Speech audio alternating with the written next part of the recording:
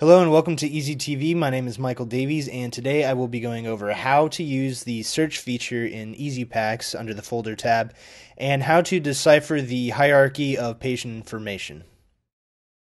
After learning the ins and outs of the EESiPACS, you will find that it is a simple and very useful tool for retrieving and editing patient studies amongst other functionalities. Now we begin today by accessing the PACS itself, and to do that, just open up your web browser and type in your unique URL, and then come down here to the username and password fields and type in your username. In this case, I'll be logging in as the admin. The folder tab is the default home page after logging in to the system and below the folder tab you will notice a search box and within the search box are a series of fields that can be populated with patient information when conducting a search. This information includes the patient's name, patient ID, study date, accession number, the modality in which the study was conducted, and the source AE title. You can specify an exact search. You can order the studies being searched by latest studies first, and you can specify what it is exactly you are searching for, including the patient, study, studies with unlinked PPS, studies without PPS, and studies without a work list. The Expand To option allows you to choose what is displayed after typing in your search criteria, including the patient, study, series, or instance hierarchy.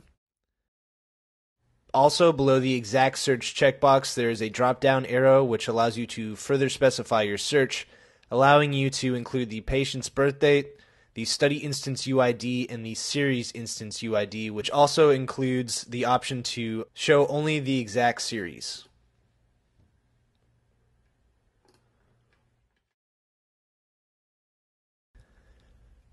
In order to populate all of the patients underneath the search box, just come over here and click on search. And this will bring up all the patients and the patient's information within your PACS. The page size feature allows you to choose how many patients are populated per page, and the options include 10, 25, 50, or 100 patients. Right next to the page size feature is the number of studies that are being displayed currently on each page.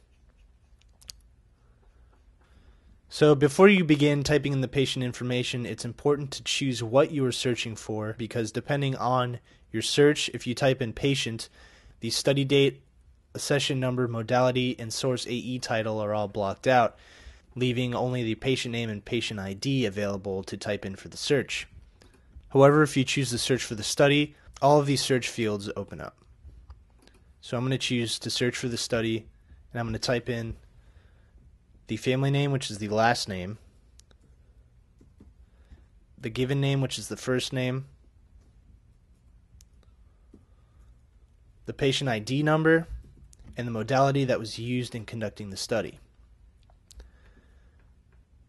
I'm going to choose to expand to the series hierarchy, and then I'm going to click search. As you can see, the patient Charles Barkley is populated, and the hierarchical level that is shown is the series. Now, to figure out which hierarchy is being shown, up here is a key that shows what information is displayed at each hierarchical level and the color coding that goes with each level. The EESiPACS uses an intuitive patient name retrieval software, and so it is easy to find patients in the system even when their exact name or spelling is unknown. For example, initiating the phonetic feature allows the user to use the phonetic spelling of a name to find a patient.